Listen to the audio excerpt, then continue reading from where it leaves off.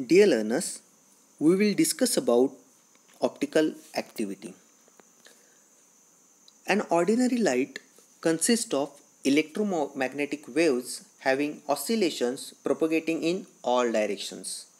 When we are having a dark room and we are igniting any kind of bulb, then we are observing that the dark room is now lightened by means of that light rays. So those light rays igniting from your regular light source is traveling in all the directions and those light rays are known as unpolarized light rays.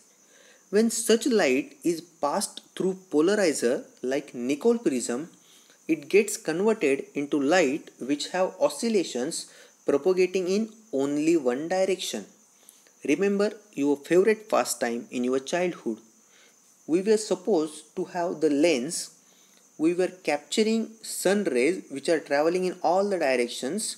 By means of that lens we are converting that light rays to be traveled into the same direction. So the light rays reaching to the lens are your unpolarized light ray. And once it passes through that lens and travels in the same direction that will be called as plane polarized light.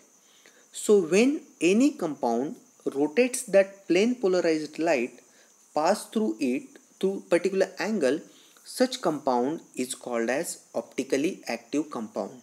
So the compounds which are having capability to rotate that plane polarized light when that light passes through them those compounds are known as optically active compound. This property of actively optically active substance is called as optical rotation. So the physical properties for the rotation of light by the optically active substance is called as optical rotation. And the angle through which light is rotated is called as angle of rotation.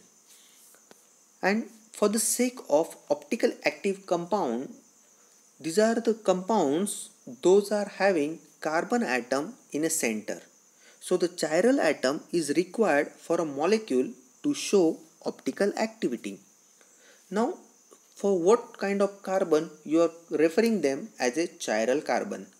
So the chiral carbon are those who are having carbon atom at the center and having four different groups attached to them.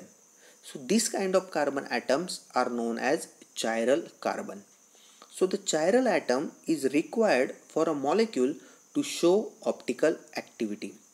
For example, in lactic acid, central carbon atom is attached to four different groups like your CH3, hydrogen, OH and COOH. So this carbon which is arranged or which is circumferenced by means of four different groups that is known as your chiral carbon and this chiral molecule is not superimposable on its mirror images. For the understanding of this, let's assume palm of your hands. When you are holding palm of your left hand in front of mirror, you will have mirror image which is not superimposable with your left hand and same with your right hand. So when you are having your left hand and right hand together then you can observe that the both images are not superimposed to one another. Means if your hands are your chiral object and you are holding them in front of mirror then the superimposed mirror images or the mirror images of these chiral carbons or chiral objects are not superimposed. So you can say that the mirror images of chiral objects cannot be superimposed. So the two isomers which are not mirror images of each other are termed as enantiomers and based on their property to rotate plane polarized light they are classified into two types. The first one is your dextro-rotatory type and the second one is your levo-rotatory type. For example, you are having L-alanine.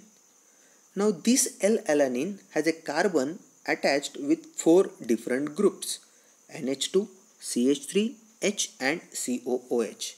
So if this chiral carbon is your optically active compound, if this L-alanine is your optically active compound and this turns the plane polarized light towards right side or it rotates the plane polarized light in a clockwise manner like this one it rotates it in a clockwise manner it is called as dextrorotatory and is denoted by plus sign and D sign or you are referring them as S enantiomers. When the substance rotates the plane polarized light towards left side or anti-clockwise. Remember, in case of dextrorotatory that was rotating in a clockwise manner whereas in case of levorotatory it is rotating in your anti-clockwise manner and this is denoted by negative sign or L. So in case of levorotatory that rotates in anti-clockwise manner whereas in case of dextrorotatory it rotates in a clockwise manner. The dextrorotatory is given by plus sign whereas levorotatory is given by minus sign. So the optically active compound can either rotate that plane polarized light in the right side or that can rotate in the left side. So the optical rotation of substance basically depends upon the wavelength of light, temperature and density of that particular optically active substance and thus it is an intrinsic property. As like your optical rotation, the term specific rotation is a characteristic constant value for a given compound and this specific rotation for example you are having a sample solution with the concentration of 1 gram per ml so the sample of this 1 gram per ml is kept or is passed through the sample tube having length of 1 decimeter. So when you are allowing that light ray to pass through that 1 decimeter at specific temperature there will be rotation of light and this rotation is given by the mathematical expression as alpha upon the product of L into C where alpha is your observed rotation L is the path length from which that light ray is passing and C is the concentration of your sample solution in gram per liter.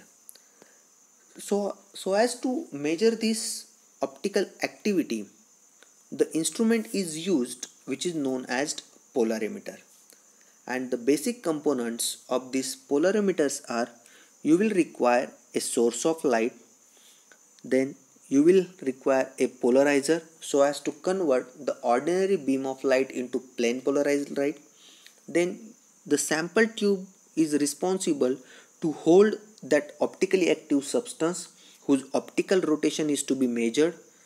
The liquid substance that can be directly added to the sample tube and you will require analyzer or detector. Now the role of every component that is your source of light, polarizer, sample tube and analyzer will have influence on its working. The source of light that is commonly used in polarimeter is your sodium vapor lamp. And Nicol prism or Polaroid lens are basically used as polarizer which is responsible to convert ordinary beam of light into plane polarized light.